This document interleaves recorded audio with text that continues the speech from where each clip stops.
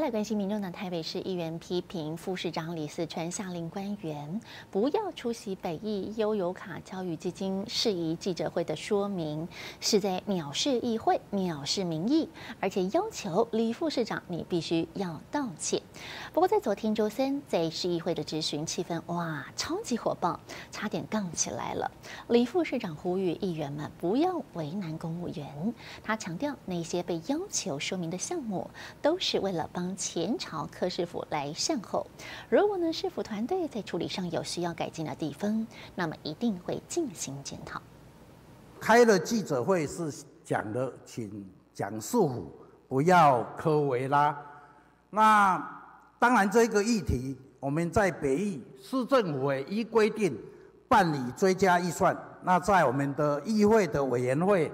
也做成决议，是不是不要为难我们局处的这一个参与的同仁？讨论怎么会叫为难可不可以？这个原则上，如果假设不是记者会，是协调会，或是要澄清的这一个部分，我想我们都很乐意。如果我们的这一个处理有精进的空间，我想我们会检讨来精进。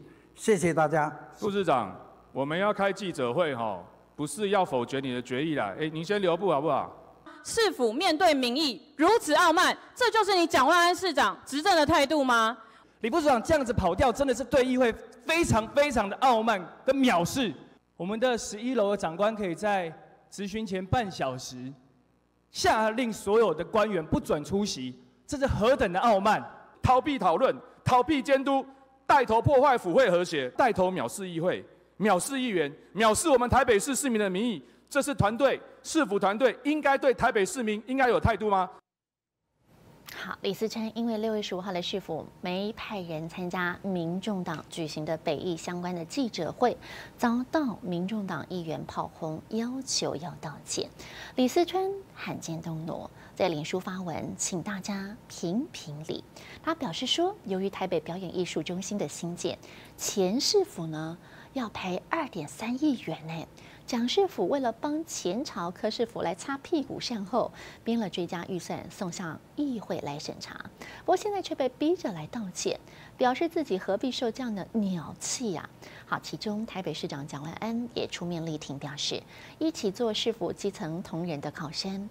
前高雄市长韩国瑜也来留言力挺，四川辛苦了。选择直球对决，直接诉诸台北市民的公平，确实罕见。唯有大仁大智大勇者，敢义无反顾为之，也真的是印证了古话“无欲则刚”，佩服佩服。网友看到韩国瑜的留言，纷纷表示：谁该扛责任？就该谁负嘛？那问政讲理、性客观呢？民众党议员，你要作秀，要找勤勉无私的李四川副市长，是不是找错人了？不要为难李四川副市长跟局处市府的团队呀。好，的确，这前朝的烂摊子，现任来收拾，当然惹发的争议，也引发了府方跟党团的论战。那其中的原因就是。柯文哲担任市长时期所留下来的北艺工程调解金二点三亿元，以及悠游卡公司新贵案，以及这个教育啊基金被柯文哲以挪用在还债等等的争议。不过柯政府时期、柯市府时期的这个遗留到蒋市府的烂摊子，其实还不止这一桩哎。大巨蛋的新建、北投影视音园区，以及二零二二年的双城论坛费用的呆账，全部居然都要由蒋市府来收拾善后。